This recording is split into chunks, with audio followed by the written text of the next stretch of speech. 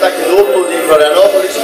A academia representada no UFC pelo Thiago Tavares, Fábio Maldonado, tem também atleta Ivan Batman, o Rafael Melo que teve lutado hoje no, no BFL, também saiu vitorioso.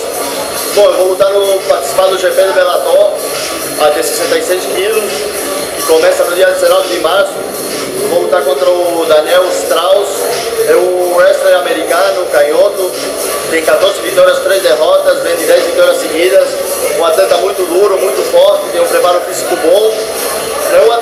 Finalizador, não é um atleta nocauteador, mas ele tem uma estratégia muito boa e com o bom preparo físico dele ele vem dando resultado e está se dando bem nas últimas lutas.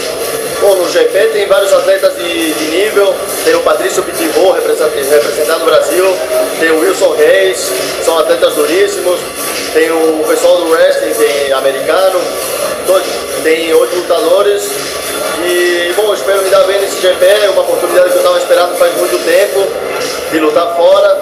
Quase fechei contrato com o WSC, com o UFC, mas acabou que não deu certo. Aí bom, essa oportunidade que é muito boa, estou bem preparado daqui a três semanas vocês vão me ver lutando num evento de grande porte internacional.